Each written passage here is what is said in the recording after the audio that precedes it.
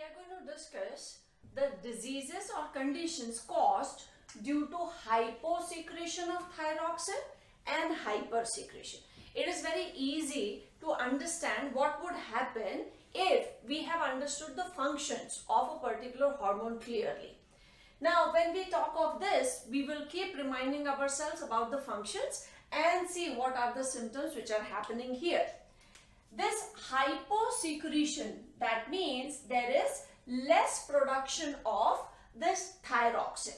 What could be the reasons? Number one reason could be less iodine. We can just write less iodine in diet. This could be one reason. The other reason could be some kind of injury to the gland and because of which the secretion of the hormone is less than normal. The first disorder or condition which we are talking of is cretinism.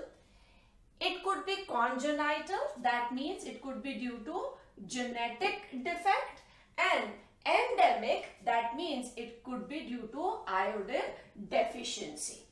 So, if there is genetic disorder, then thyroid absorption will not be proper because of the gene defect. And endemic, that means in our uh, water or salt which is iodized is not coming in proper quantity.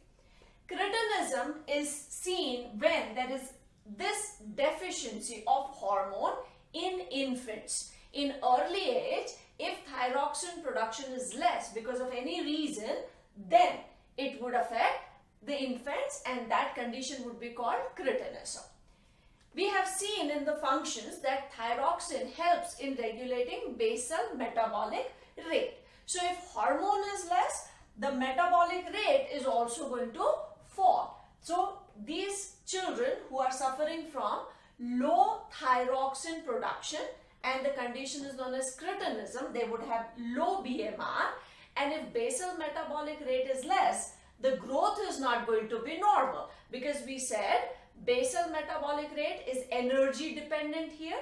So how much energy is produced by mitochondria and that helps in physical, mental and sexual growth. So if physical growth doesn't take place then it would show stunted growth.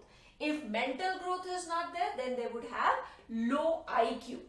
And one more function was that thyroxine maintains homeothermy that is a constant body temperature and if the hormone is less body temperature will also be lower than the normal.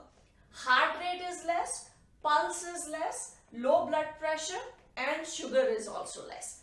The characteristic feature apart from all these things is known as pigeon's chest.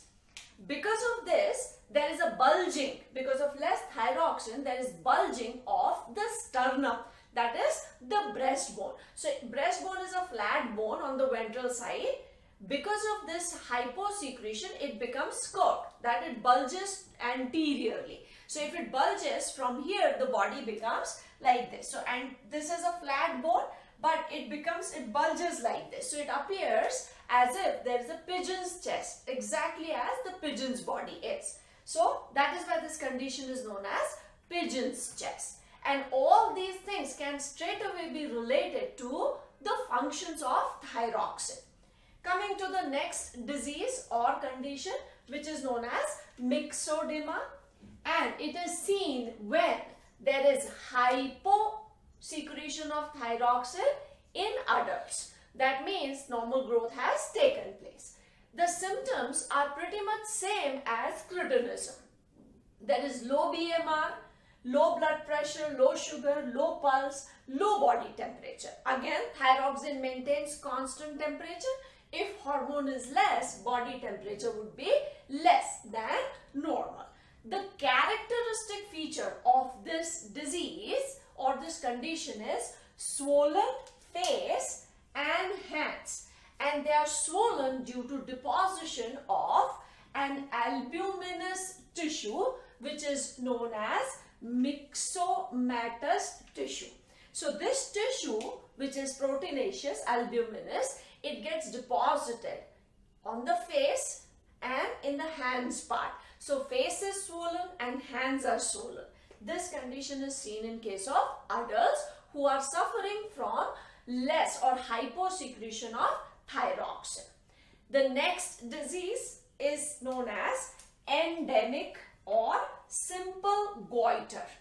This is again due to deficiency of iodine especially in water. So water which is being consumed is not bringing iodine and this can be corrected by taking iodine and that normal iodine which we take is in the form of iodized salt. So salt which we are consuming has been iodized so that we keep getting this iodine which we require. It is non-genetic, it is an endemic disease, there is deficiency of this. There is enlargement of thyroid gland. So the gland is in the neck region, it enlarges and it bulges. So there is enlargement and this enlargement is actually taking place due to increase in size and number of these acinar cells which make the follicles.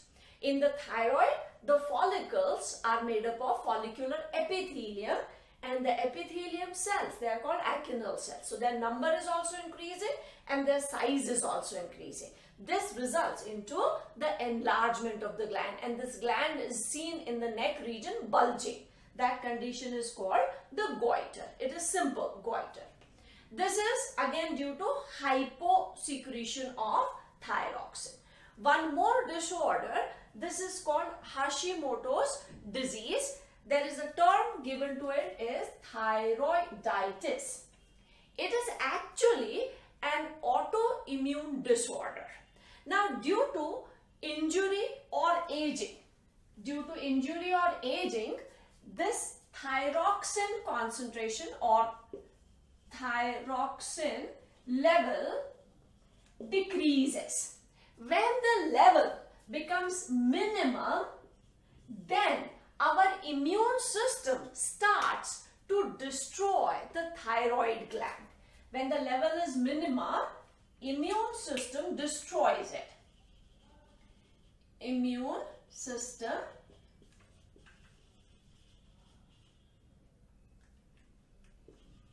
destroys the gland and that is why we call it an autoimmune disorder. Our immune system is destroying our own gland. That is why autoimmune disorder. But the reason why this is happening is due to aging or injury, the hormone production is declining. When it falls below minimum level, then our immune system identifies this gland as non-functional and then it is destroyed. That disease is called Hashimoto's disease or thyroiditis, autoimmune disorder. These are all hypo conditions when the hormone production is less. Now we would take up the hyper condition. If the hormone is more than normal, again, we can identify these things based on the functions. It regulates BMR, temperature and all those things. So here also, we will start from here and then we will take up the other points. BMR is going to be higher. In hypo condition, there was low BMR. In hyper condition, there is high BMR. Heart rate is more, pulse rate is more, body temperature is also more because thyroxine maintains constant body temperature. If hormone is more, body temperature is more than normal. Its function is to maintain or absorb calcium and phosphorus. And if this calcium phosphorus absorption is not there, then osteoporosis would take place. And there is edema behind the eyes behind the eyes, if there is edema, then the eyeball bulges. So this is why it is called exophthalmic. Exophthalmic, exo is out, ophthalma word is for eye. So here we are seeing bulging eyes. And enlargement of the gland takes place. That is the goiter part. So enlargement is also there, bulging of eyes is also there and other things are again straight away function related. BMR related, body temperature related. In low secretion, all these things would be less than normal. In hypersecretion, these things would be more than normal. So, we have understood the function of thyroxine.